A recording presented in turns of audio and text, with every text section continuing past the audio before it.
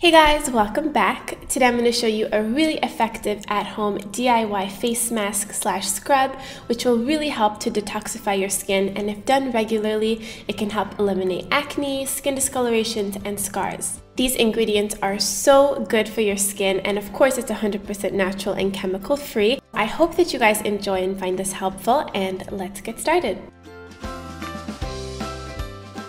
So the first thing you'll need is some Himalayan crystal salt, which is the best form of salt you can get because it contains the full spectrum of 84 minerals and trace elements. It is unrefined, unprocessed, raw salt, and because of this, it is one of the most effective and inexpensive treatments for any skin infection. It works on the skin by literally drawing out the toxins. You could also add this Himalayan salt to a face toner or in a bath, and it's very detoxifying for your skin. It's so beneficial that some people also add this salt to their drinking water, and it helps to eliminate harmful bacteria and toxins from your body. So it's just a really good form of salt.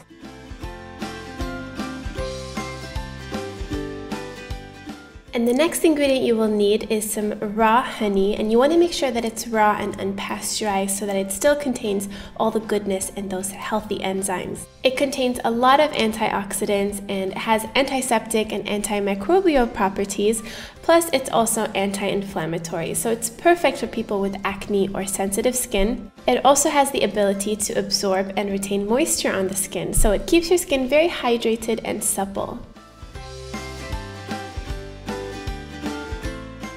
And the third ingredient you will need is some apple cider vinegar and you want to make sure that it's organic, unfiltered, and unpasteurized. So it looks a little bit cloudy and this is also sometimes called the mother and this is the part that contains all those healthy enzymes and nutrients. Apple cider vinegar is so beneficial to your whole body. You can use it for detoxing, but it's especially beneficial for your skin. It acts like an antiseptic and it also helps to restore the natural pH of your skin.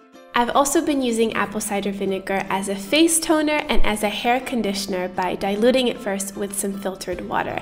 And it makes my skin and hair feel so amazing and I love that I'm just completely cutting out so many chemicals from my beauty routine just by using this product. But I will have more information on that in upcoming videos.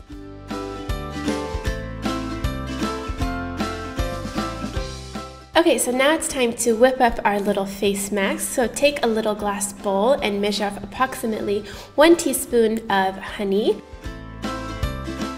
to one teaspoon of Himalayan salt and about half a teaspoon of apple cider vinegar.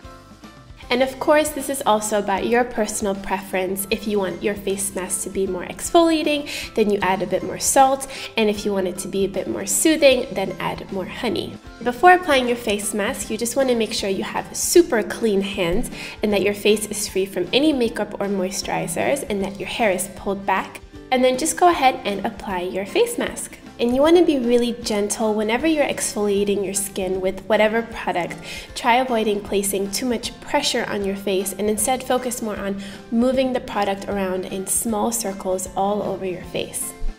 This type of circular massage and exfoliation is really good for helping to promote blood flow and stimulate collagen production in the skin.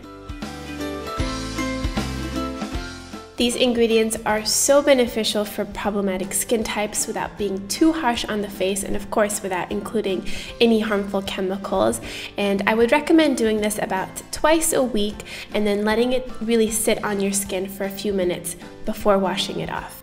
And it's also nice at this point to gently massage your face. It helps to relieve a lot of the tension that we hold in our face, especially around the jaw and the forehead area.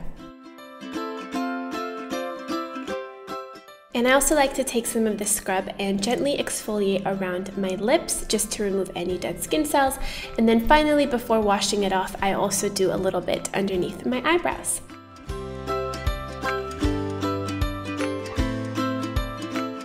This leaves my skin feeling so soft and smooth, kind of like really soft butter almost, and it just feels really nice and clean. So I hope that you guys enjoyed this video and found it informative and helpful and hopefully this will work really well for you as well. Thank you guys so much for watching and I will talk to you guys very soon.